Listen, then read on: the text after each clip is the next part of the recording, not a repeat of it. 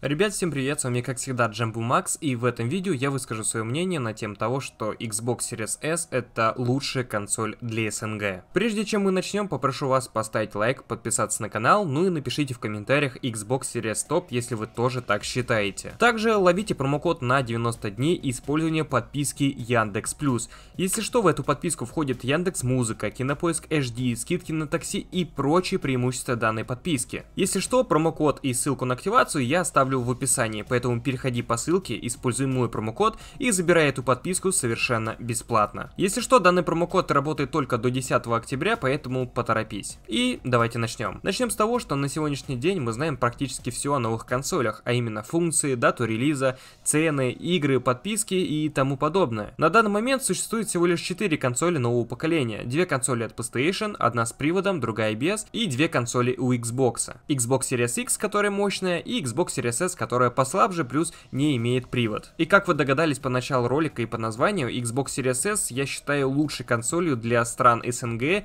и сейчас я объясню почему. В первую очередь я хочу напомнить, что Series S это точно такая же Next Gen консоль, как и PlayStation 5 и Xbox Series X. Она обладает теми же самыми технологиями, а именно трассировкой лучей, быстрой скоростью загрузки. В ней есть та же самая технология улучшения звука, что и Xbox Series X, быстрый отклик и те самые 120 FPS. Также также, помимо этого, знаете еще самое главное, абсолютно все новые игры для нового поколения выйдут и на Xbox Series S. Несмотря на разницу в железе, S-версия не устареет быстрее X-версии за счет деления консолей по поколениям. Просто многие смотрят на железо и переживают за те самые терафлопсы, но который раз вам заявляю, консоли делятся по поколениям. И Series S, и Series X это две консоли, которые рождены в одно поколение и которые умрут тоже в одно поколение. Это по сути тот же самый аналог, что и Xbox One S и Xbox One X. Сколько бы вы ни сравнивали железо, Xbox Series S перестанет получать новые игры ровно тогда же, когда и Xbox Series X. Единственное различие между Xbox Series S и Xbox Series X это отсутствие 4К разрешения в играх,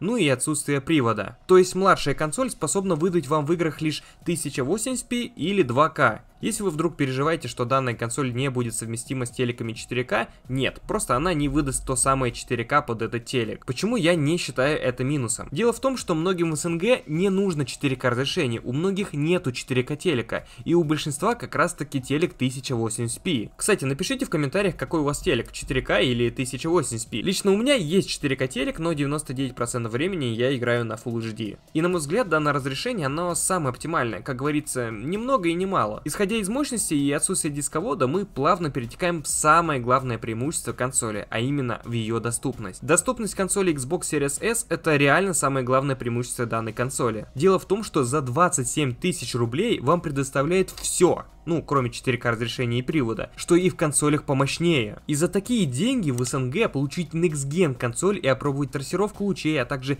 все будущие новые игры, это просто подарок. Тем, кто вообще никогда не имел консоли и не знает, что такое 4К разрешение, а в СНГ таких очень много, это просто самый лучший выбор. Просто все дело в том, что в СНГ очень много людей с малым и средним заработком. И чтобы не переплачивать 18 600 за мощную версию Xbox или 11к за PlayStation 5 без привода, они могут купить Xbox Series S и не париться. Ведь они получат все новые игры, что и на консолях мощнее. Кстати, о играх. По сути, консоли покупают ради игр, и для СНГ цены на игры это больная тема. Но консоли Xbox славятся тем, что на них есть просто офигенные подписки, которые предоставляют доступ к огромному списку игр. Самая шикарная, на мой взгляд, подписка это Ultimate, поскольку в ней есть все то, что нужно. Подписка для игр, подписка для онлайна, ну и в будущем еще будут игры от электроников. То есть покупая Series S, докупайте к нему Ultimate Ultimate, к примеру, на год или больше. Кстати, лайфхак, как это сделать дешевле, есть на моем канале, и все. Не паритесь об играх вообще. Да, я понимаю, что в этой подписке не появятся на старте многие новинки, но в том списке игр, который уже доступен по этой подписке,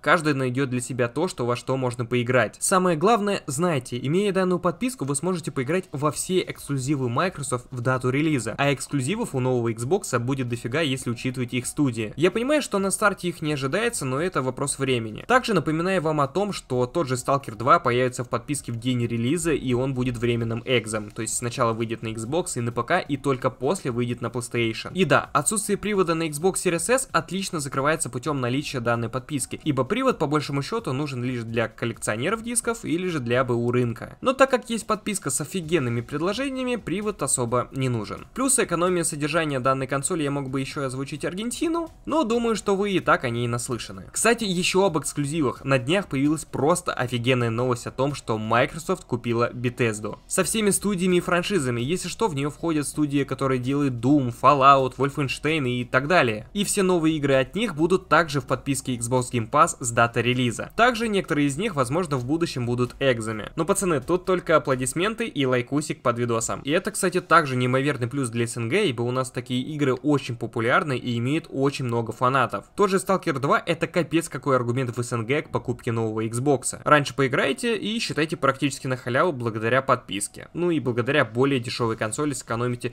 кучу денег и почувствуете Next Gen. Также напоминаю, что данная консоль будет иметь обратную совместимость со всеми предыдущими Xbox, поэтому на нем вы сможете пройти многие игры от Xbox Original, Xbox 360 и еще от Xbox One. Да, есть такая версия, что старые игры никому не нужны, но на мой взгляд это не так. Много кто не проходил игры того времени, многие хотят познакомиться с лором каких-нибудь франшиз, и тут как раз таки на помощь приходит та самая обратная совместимость. Кстати, игры по обратке для новых консолях получат улучшения, из-за которых будут работать лучше. Кстати, единственный минус, на мой взгляд, в Xbox Series S это 500 гигабайт памяти. Дело в том, что есть некоторые игры, которые весят около 150 гигабайт, и думаю, что в будущем таких игр может быть только больше. Да, я уже слышал о новости, что по сравнению с играми Xbox Series X, э, игры будут весить чуть меньше, но так или иначе 500 гигов не хватит, чтобы закачать большое количество игр. Если у вас низкая скорость интернета и вы не можете что-то быстро скачать, то данный объем будет чутка минус. Но его можно обойти путем покупки внешнего жесткого диска. Если что, не обязательно покупать именно SSD-шник. Можно просто купить внешний жесткий диск от 512 гигабайт с USB 3.0. Просто ранее информация гласила о том, что новые игры нельзя будет закачать на внешний жесткий. Оказалось, что можно, только чтобы их запустить, надо перекидывать их обратно. То есть, имея внешний жесткий диск, просто в удобный момент перекидываете игру на SSD и играете. А так на внешнем жестком диске можно без проблем запускать игры по обратке. Да, может быть кто-то и богат, ему не проблемно покупать каждую игру за 60 или 70 баксов, и таким нужен, кстати, максимум